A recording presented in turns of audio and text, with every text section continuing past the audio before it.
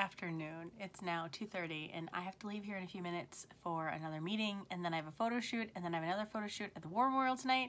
Look at my one o'clock session was for my eyelashes because I miss them so much. But now I have them back so it's okay. Yeah, I like them a lot. All right, today has just been email catch up, transferring files catch up from yesterday, all the things with the computer today. But now like I said, I have to go to a session, I have to go to a, a meeting. I have to go to a meeting and then I have two sessions. So I'm gonna go do that. Bye. All right, my meeting is over. I am now waiting for Susie and her family to get here for their pictures.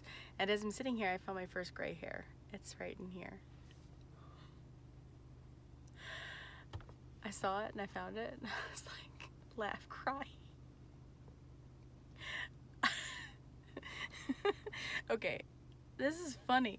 This is really funny. I can't believe it.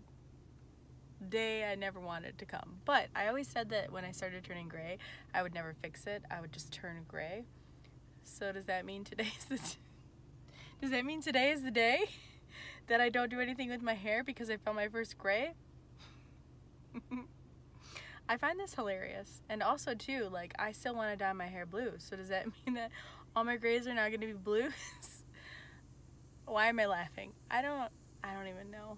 I don't even know. It's hot. Let's change the subject. Okay. Yeah, so now I'm waiting for Susie to get here. And I texted Adam like a snapshot. I'll include it now for you to see. He responded with LOL.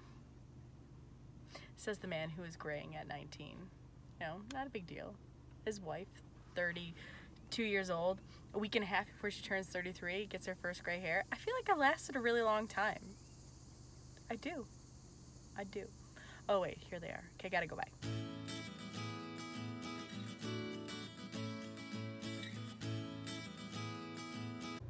Session is over with. It was super quick because they ended up going to the wrong park and then they had to come here in was second rush hour and we only had like 15, 20 minute stops. In and out, got it done, four kids, three girls, one boy. Nailed it. Let's do this. Now I'm off to the next place. Okay, let's drive.